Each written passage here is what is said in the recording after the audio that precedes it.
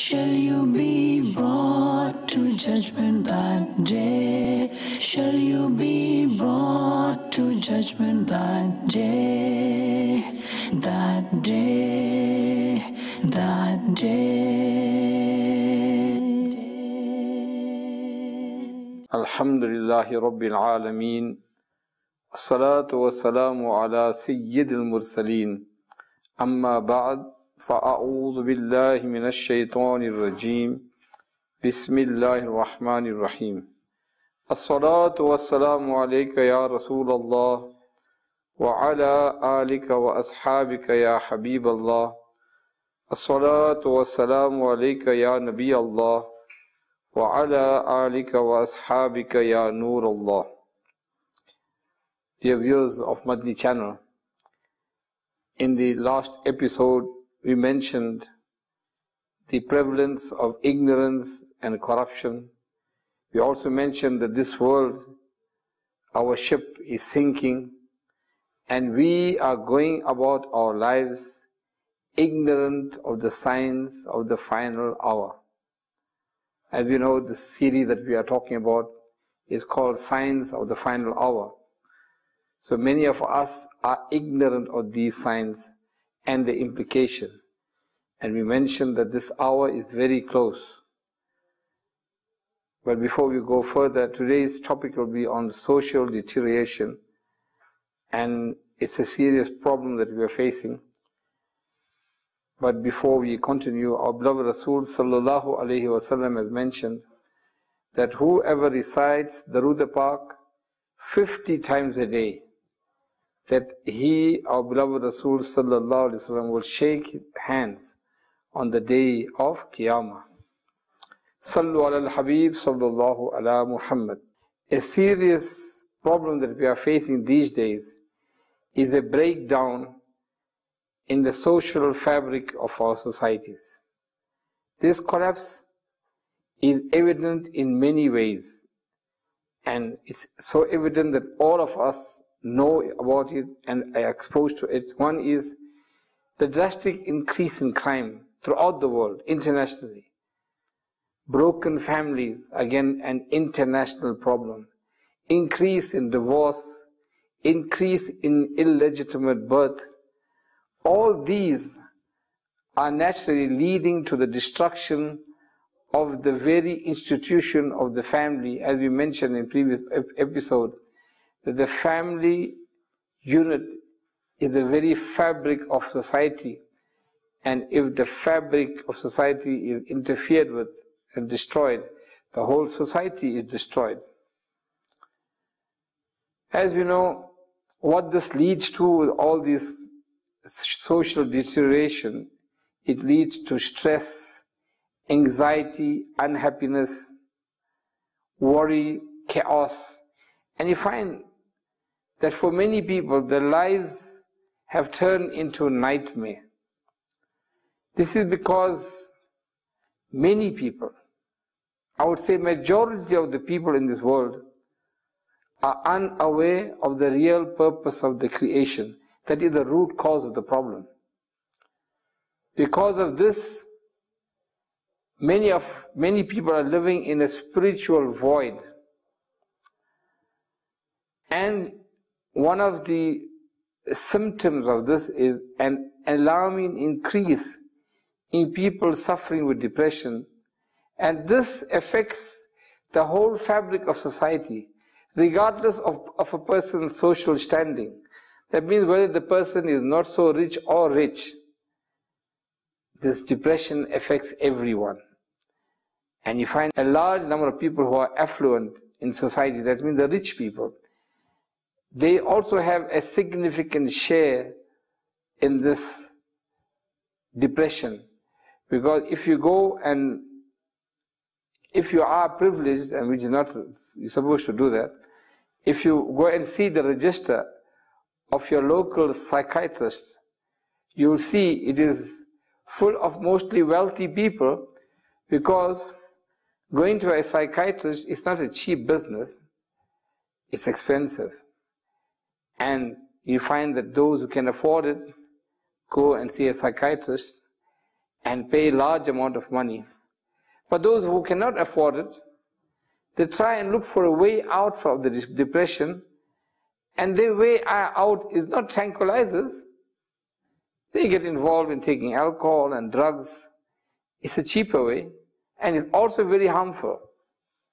So as you can see, there is an increase in people going to psychiatrists and psychologists. There is an increase in people taking alcohol and drugs. And all this is because they are lost. And some who think that there is no solution to be found, they reach such a stage in their life that they think there is no use living anymore. And you find many people commit suicide. And this, unfortunately, is also increasing the people and the rate of suicide amongst rich, poor, and any age. You find more and more people are committing suicide because of depression, because of anxiety, because of the stressful lives. Some people commit suicide because they got stress regarding not being able to meet the ends. Some of them are bankrupt and people are putting pressure on them because of wanting the money. Some because of broken relationship and many things. And you find this is common. So, oh viewers of Madani channel, how do we get peace? How do we get content, contentment in our lives? Do we get this by following those who are groping in spiritual darkness, living in a, a life of spiritual void? We look at the people who are not Muslims and who are living in this spiritual darkness, spiritual void. But we look at the outer appearance, we see them driving fancy cars, driving, wearing expensive clothes, going outside, uh, socializing, drinking and dancing and appearing to be happy. So we think that they are happy.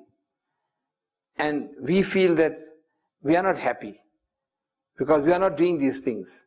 So this is the shaitan's way of making us feel that these people are really enjoying their lives and look what you are doing. So what they do?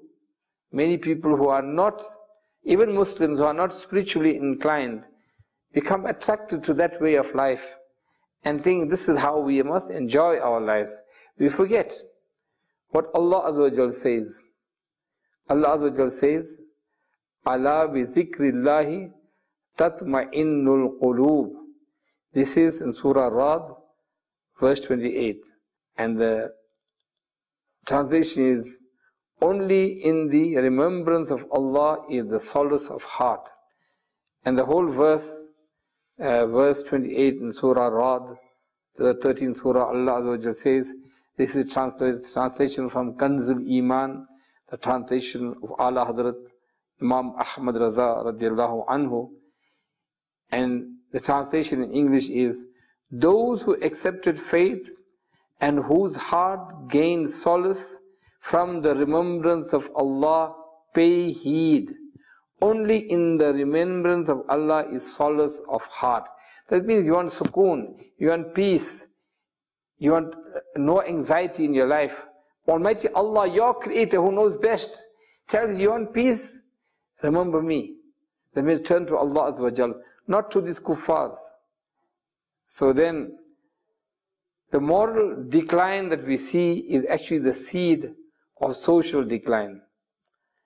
And this in turn is translated to an alarming increase in illicit activities, that means criminal activities. You find that the level of crime internationally has reached a proportion that is astounding even the experts.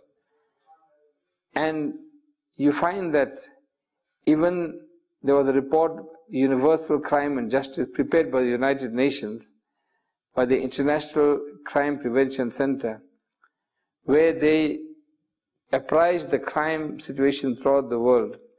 And the conclusion was that there is basically increase in the rate of crime. That means year upon year you find an increase. That means what it shows, if there increases in crime, it means that the number of criminals in the world are increasing all the time. And this is not surprising because it's mentioned in the Holy Quran where Allah says, and uh, this is a translation of Surah Sajda, Surah 41, verse 15 from Kanzul Iman. I would like you to listen carefully to the translation. Allah says, So regarding the Ad, I mean the tribe of Ad, they were haughty in the land without rights, and they said, Who is more powerful than us? Did they not realize that Allah, who created them, is more powerful than them? They used to deny our signs.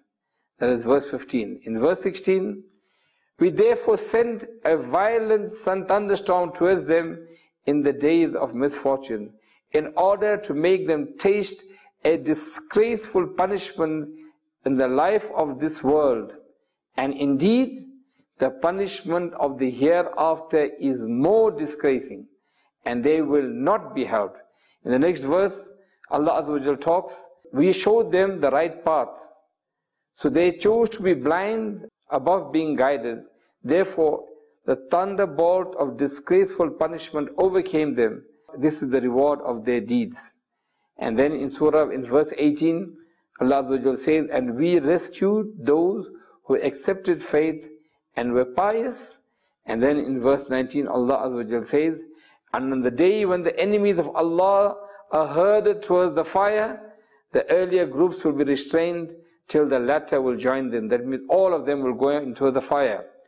To the extent, the next verse, verse 20, to the extent when, that when they reach it, the ears and the eyes and the skins will testify against them for what they used to do. So we are the Madni channel. As you can see, these people were very proud and they didn't think that anything will happen to them and they did not obey Allah's signs and Allah Azza subjected them to punishment and they are completely annihilated. They don't even exist today. And what Allah says in the last verse, Allah says, that means that when they reach the last day, what will be the evidence for them? The ears, the eyes, and the skins will testify against them. So there, what this tells you that no matter what you do, if it is something that Allah Azza dislikes, and you think nobody is watching, even this, Allah says in this verse, even your skin will give evidence against you. So now coming back to the, the social deterioration and all the various problems associated with it. This is because of human beings forgetting Allah, forgetting the purpose of the creation, and abandoning religion and abandoning spiritual values. So the aspect of this social deterioration we see happening, which is prevalent today, you'll be surprised, was predicted by our beloved Prophet sallallahu over 14 centuries ago. Allah's Messenger sallallahu described the end times as, listen carefully, he said, when people will suffer strife and social upheaval. Now what we spoke about is social upheaval. What is happening? That means deterioration of social values and people and the people's lives. And beloved Rasul said that this is also one of the signs of that as the final hour. So it's, it's amongst us and around us. And again, as we mentioned in the previous, previous episodes, what beloved Rasul Sallallahu predicted about social upheaval, and we see it, we experience it, we feel it, but yet we are not prepared to do anything to correct ourselves, correct our families, correct the people around us. That means we all get absorbed in this upheaval and we enjoy this, the social turmoil, and we take this as enjoyment. So in the end, when we become losers, who are we going to blame? It can be understood from the hadith that the increase in the amount of evil people and the fact that those regarded as trustworthy are the liars, and the fact that some who are regarded as liars are actually trustworthy. And these are also characteristics of the end times. As we mentioned in the last episode as well, that corrupt people will become will be chosen as leaders. And you find that there is a growth in the number of people who perpetrate evil, and this is proven by when you read the newspapers and you listen to the news, the widespread crime and evil activity that are taking place. And again, this proves again what our beloved Rasul said as a sign of the end of time. And beloved Rasul has mentioned, I want you all to listen carefully, there will be years of deceit in which a truthful person will be disbelieved and a liar will be believed. The time will be years of confusion.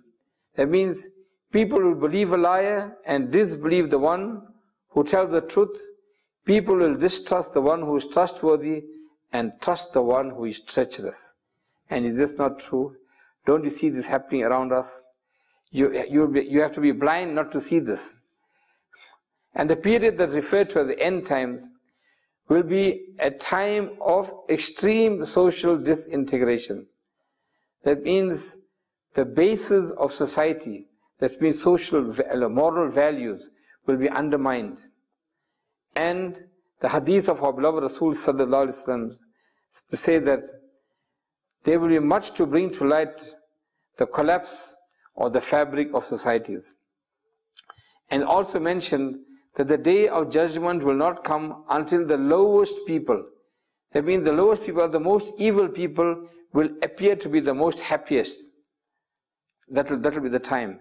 That means this hadith reveals that there will be few trustworthy people and you find that most people will be earning money that will not be halal. That means they will be carrying out trade and many people will be traders, but there will not be hardly any trustworthy person amongst them. Truthful testimony, testimony will be neglected and false testimony and slander will be widespread. This is yet another sign. That means people will give you false testimony and their views will be accepted. And verily in the presence of the last hour, and this is also a hadith, false testimony and there will be concealing of evidence. There will also be false accusation of unchastity and slander. And the only measure of people, that means people will be respected depending on how rich they are. That means only the wealthy people will be respected. That means the wealthy person, no matter what he does, his faults will be overlooked because of his wealth. That means wealth will play such an important part. That is why you'll find that many people will desire to be wealthy because there is an inherent aspect of our nature to do things that are evil but we enjoy. And if you see rich people doing this and getting away, this is shaitan's way saying, if you become rich as well, you can do all this, enjoy these things, and nobody will point the finger at you. So it is an evil cycle that tends you tends to make you forget proper Islamic values and take these values where you, you see apparently people enjoying themselves. And as you mentioned in the last episode, you see people drinking alcohol, taking drugs, dancing, music. It appears to be fun. And that's how shaitan drives you towards that. And you find people, most people who got money, because drugs are not cheap. Alcohol is not cheap. Dressing up with fancy clothes is not cheap. These are people who are wealthy. And they are the people that will call a person who's not so wealthy and pay for him and, and, entice him to come and join. So what happens is, this poor person, who may have got religious values in him, who may have been pious, but he is so attracted by the lifestyle of this rich friend of his, who's throwing his money and enjoying himself, so he is attracted, and suddenly you'll find that he, this pious person who's joining this rich person, He's attracted by his wealth, he's attracted by his dressing, he's attracted by his car, he's attracted by his lifestyle. So this poor person becomes so attracted that he starts imitating this person. He starts taking drugs, he starts taking drinking, he starts abandoning his salah. When it's time for salah, the person that wants was pious wants to go for salah, his friends phone him as they come, I'm going to the movies. He says, okay. So can you see? This is a sign and these things are happening amongst us. Many of you view the Madani channel, I'm sure you can identify in your own families or someone that you know where the person was pious, mixing up with even Muslim friends who are attracted by this evil social life of the West becomes a person who eventually abandons his salah, abandons his Islamic values. And again, these are the features of the end of time, where you find the sincere love and respect amongst people is also diminishing. So much so that beloved Rasul has mentioned, one of the signs of the end time, that a sick person will be lying in the street and no one will want to assist him. Is this not a common sight? How many times you find a person victim of crime? He's stabbed and he's on the floor and nobody will go and assist him. People just look and you find these days people got the video camera, they take the camera, they'll take video of the person suffering and dying. But nobody will think of even phoning the ambulance or calling a doctor or trying to assist him. When the person is being hit, they all will stand far away and start taking video pictures. And then they put it on the social media that that person was attacked. But nobody will have the guts to go and help the person. So what has been predicted is it not happening? Is it something strange that I'm talking about or is it something that is happening currently? So this will show you the stressful position of responsibility.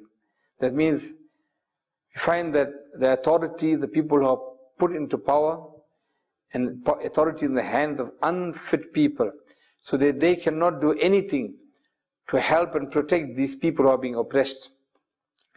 Another characteristic is disintegration of relationship amongst families between friends and neighbors. And you find these days this is so common. And one of the biggest problem is in many homes you have this problem where even when people are together in a home, people don't communicate. Everyone is busy on his cell phone, chatting to some friend. And unfortunately, you find that people are not talking to each other. Yet they're sitting next to each other, but won't busy with chatting with somebody and sitting next to even the parents. And, and there was one caption, and someone showed this picture of this old lady was in an old age home. And these people who had they celebrate this Mother's Day. And the caption was, they show a picture of this old lady sitting, and all her family members were around her, but each person was engrossed with his own cell phone. They went to visit this lady and the old age home on a Mother's Day, but nobody was talking to her, and she was looking at them, and all of them had phones. As you can see, what has been predicted is happening. The breakdown of relationship in families. And also you find, because of the failure to communicate, you find that love is diminishing in the family as well. And there is an increase in loneliness. And again, characteristic of the end time. And we know that the day of judgment is approaching. And it's time that we turn to Almighty Allah. But you find that before this happens, there will be turmoil for a person with regard his family, his property, his self, his children, his neighbors. This is also hadith mentioned by beloved Rasul sallallahu in Bukhari Sharif as well. Young people become rebe rebellious and you'll find that the relationship with the family will deteriorate. And you'll also find, and this is also happening, that the old people will not have compassion for young. And you find, and the young will show no respect for old. And you find, again, this report by Hazrat Umar radiallahu anhu, and children will become increasingly angry. And he said, when this happens, know that the day of judgment is at hand. Is it not true? Don't you see in many families, children throwing anger and tantrums, becoming angry over little things? So these are what have been predicted and is happening. And again, another characteristic of the end of time was the divorce rate will increase and the number of children born out of marriage will increase. Now viewers of Madani channel, is this not happening? The high rate of illegitimate children is this not prevalent in our society? Is divorce not common? Abundance of illegitimate children. And due to the influence of materialism, people have become more attached to this world. And many people forget the hereafter. Now this is another characteristic of the end of times. People who are becoming mean and greedy because of wanting more of the world, they will multiply. You find that many people, because of the lack of knowledge, may even give up the Islamic values just to enjoy this world a bit more. And the last day is also mentioned that people will curse and abuse each other instead of greeting other with love. Again, you see increase in this and increase in gossip and mocking people. Today you find people who mock others, even you find people mocking politicians, you got these professional comedians, and they get paid. And people pay to see them mocking and making fun of people who are high up in, in, in, in, the, in the country, like politicians. And then you also find that people who are flatterers, who are insincere, they are respected. And the another sign of the end time will be that there will be increase in murders. Is that again, everything I'm talking to you is something that we are seeing every day. Increase in murder. Again, another sign of the end time. Deceit and cheating, especially in business. Again, a common thing. Bribes will be termed gifts and will be considered lawful. Now, don't you see this happening? Even people who are supposed to be protecting us, like people in the police force, law, supposed to be law enforcers, they themselves accept bribe. So if they, the people who are supposed to be upholding values, and they themselves are corrupt, what can you say about the, the, the society? And again, these have been predicted will happen at the end time. And can't you see this? As bribes are taken as gifts. And my dear viewers of Madani channel, now we have given you some facts and we are almost end of this series, but very, most important is we are hearing about the signs. Now, if it hasn't affected us, or you as a, as a viewer of Madani channel, if it hasn't affected you and you are still waiting or procrastinating, now is the time to change. Because as we mentioned in one of the previous episode, and I'm going to repeat this, we don't have much time left. Our lineage, that means if not our offsprings or their offsprings, but the offsprings of their offsprings, that means our line. We will be happy to see that our line, that means our offsprings, turning towards Dajjal or being lost. Now, if you don't do anything now to correct yourself, because if you don't correct yourself, your children are not going to be reformed. So you have to reform yourself and reform your children and hopefully if you reform your children, they will end up reforming their children and when you pass away, how pleased you'll be if you see your whole line going towards righteousness. So my dear viewers of Madani channel, it's time that we wake up from our senseless sleep, our slumber, and face the reality and change before it's too late. Sallu ala al-Habib, sallallahu ala Muhammad. That day shall you be brought to judgment that day shall you be brought to judgment that day that day that day